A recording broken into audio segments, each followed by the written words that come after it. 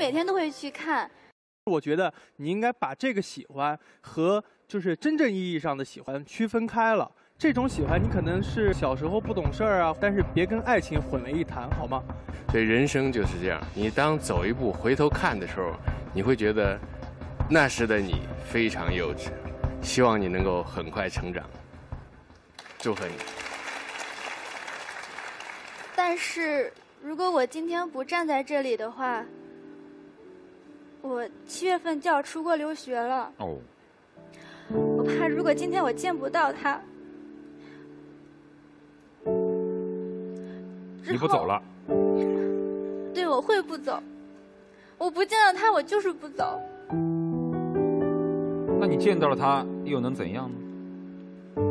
我要亲口告诉他，我有多么喜欢他。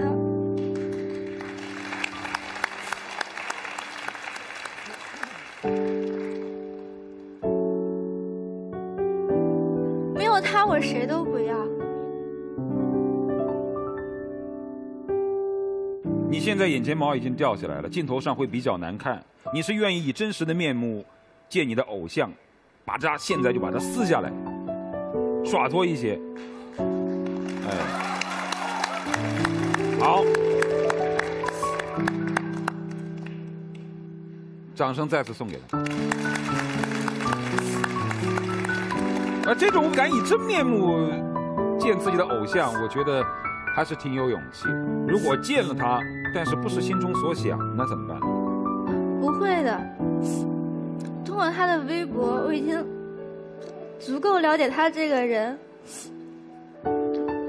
所以即使就算有一些反差，但我还是会喜欢他。哎，你们仨给他加加油呗！你们三给他加油的具体方式是把自己的眼睫毛也撕掉。哎，真撕了哦哦哦，带头了哎！对，这才是姐妹嘛啊！谢谢你们啊！来，接下来请你站到开启告白之门的按键旁边。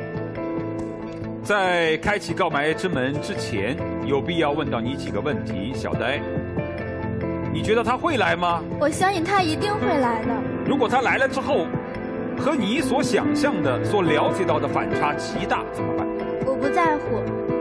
因为我已经够喜欢他了，我喜欢到他就是可以包容他所有的缺点。那如果他说我只能跟你保持偶像和粉丝之间的距离，不可以做夫妻，那我尽力去争取，直到我让他接受我。那如果说他说我们之间只可以做朋友，我已经有女朋友了，怎么办？只要没有结婚，我照样还是有机会的。我的妈呀！